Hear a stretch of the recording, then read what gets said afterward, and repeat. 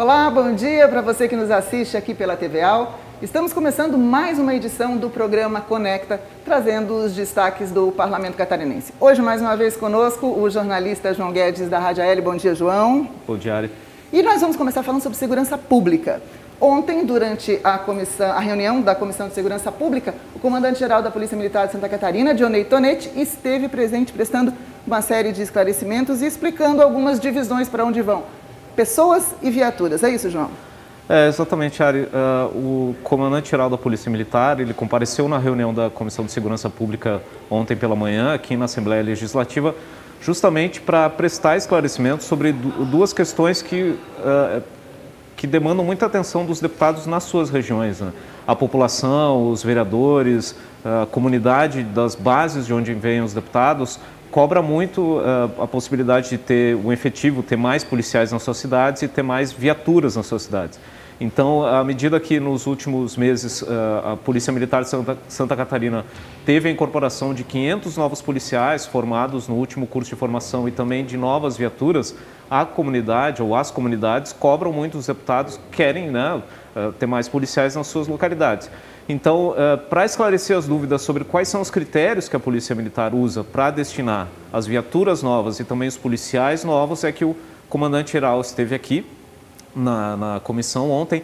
No primeiro momento, ele esclareceu a questão das viaturas, primeiro sobre as viaturas que foram adquiridas pelo governo do estado a partir de emendas dos deputados estaduais no orçamento de Santa Catarina. Uh, essas viaturas uh, eram 11 milhões de reais por emendas dos deputados aqui da Assembleia, que foram previstos no orçamento, para 123 viaturas, das quais 69 já foram adquiridas.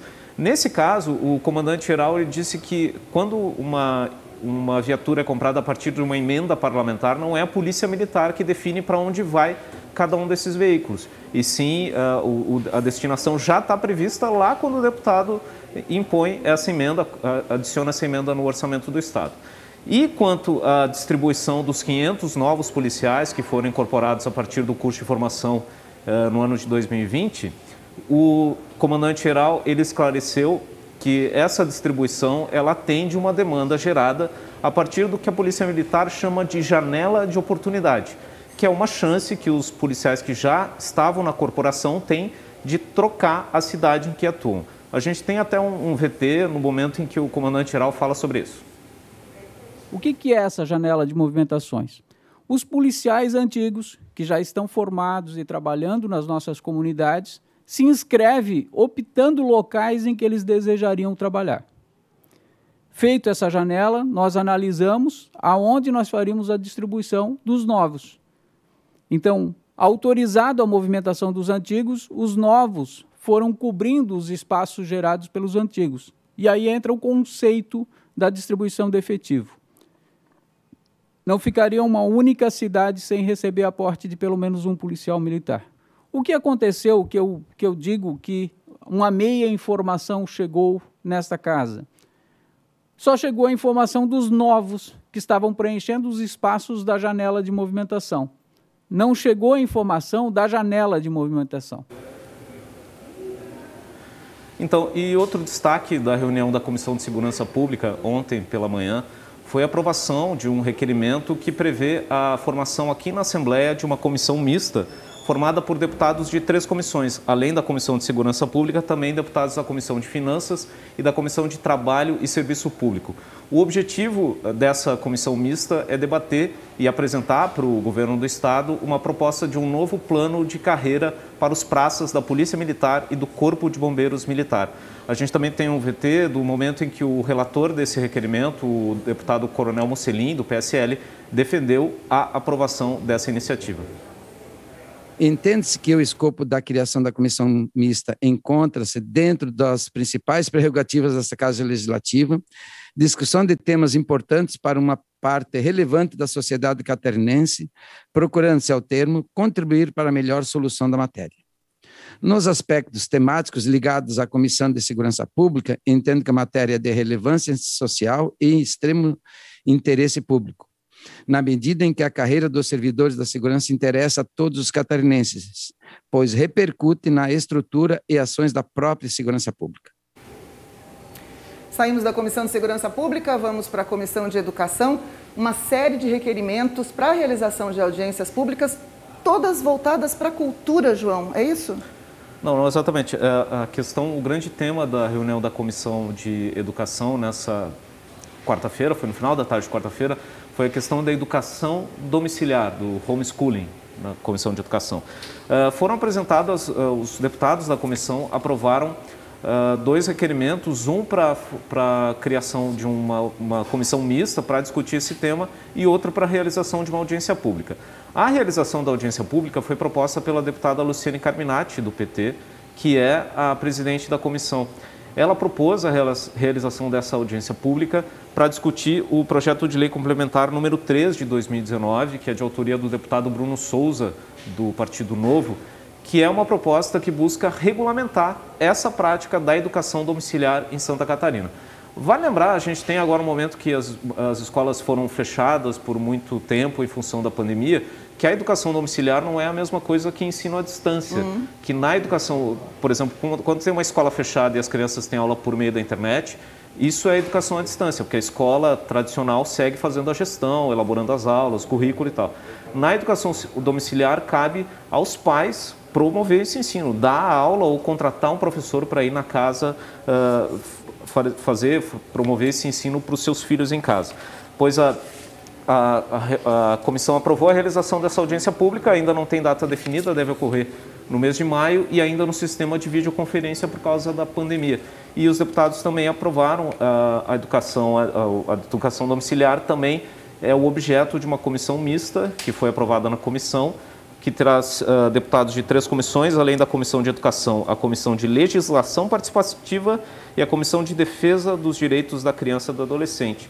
Uh, a criação dessa comissão foi proposta pela deputada Ana Campanholo, do PSL, e também tem o objetivo de discutir a educação domiciliar em Santa Catarina. Então vamos dar uma voltinha pelas nossas redes sociais. O nosso colega Tiago da Luz já está aí. Tiago, conta pra gente, bom dia. Tá certo, bom dia Ariane, bom dia João. Bom dia, Tiago. Bom dia a você que está nos assistindo. O deputado na rede hoje traz o deputado Mauro de Nadal, que é o presidente da Assembleia Legislativa de Santa Catarina, né, a LESC, e o deputado destacou o município de Bocaina do Sul.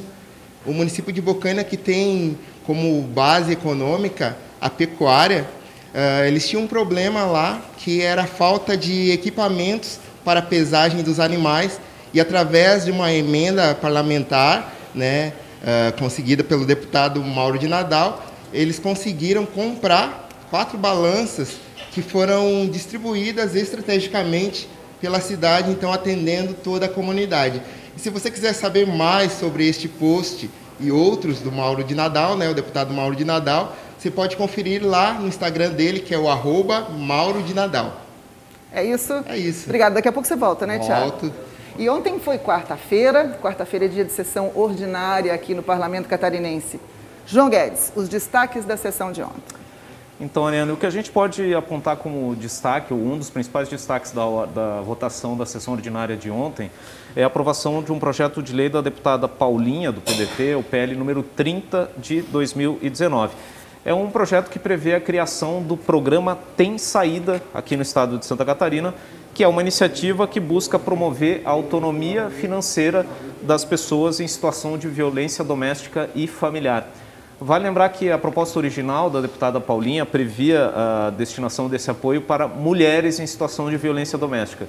Mas ao longo da tramitação, a proposta recebeu uma emenda proposta pelo deputado Gessé Lopes, do PSL, que acabou mudando para pessoas em, em, situação de violência doméstica e familiar. Até na votação ontem, a deputada Paulinha destacou essa mudança, ela entendeu que ela aperfeiçoou o texto. Ela lembrou que normalmente na maioria dos casos ainda são uh, as mulheres, a maior parte das vítimas de violência doméstica e familiar, mas, no entanto, existe, por exemplo, a violência que, que atinge idosos ou muitas vezes pessoas com deficiência também. Uh, essa proposta ela busca basicamente que se desenvolvam aqui em Santa Catarina ações para o encaminhamento dessas pessoas para vagas de emprego, para ações de capacitação profissional e também para uh, iniciativas que conscientizem essas pessoas sobre os seus direitos na busca de apoio do poder público. A ideia é que uh, essa iniciativa seja conduzida pela Secretaria de Estado de Assistência Social e Trabalho e Habitação em parceria com a Polícia Militar e os demais poderes, a Assembleia Legislativa, o Ministério Público e também a OAB e a, e a Federação dos Municípios de Santa Catarina. Também foi aprovado ontem um projeto de lei do deputado suplente, o deputado delegado Ulisses Gabriel, do PSL, que uh, estabelece que muda uma regra referente a quando um, um, um, automóvel, um veículo é recuperado pela autoridade policial e ele acaba, no caso de roubo, furto e também apropriação indébita, que existe a questão do pagamento da taxa de guincho e também a taxa de estadia daquele automóvel.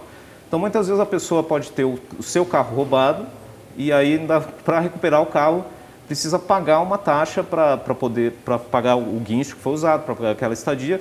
E como a pessoa teve o carro roubado, ela não deveria ter esse ônus, né?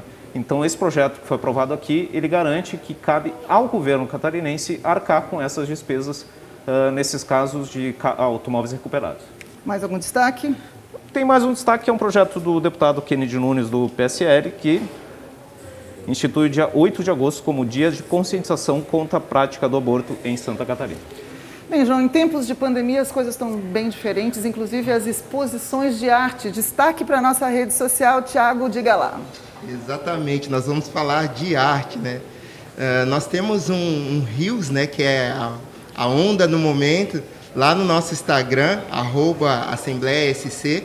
Neste Rios nós temos um, um post, né, sobre a artista catarinense Gilma Mello, e o nome dessa exposição é Transitoriedade.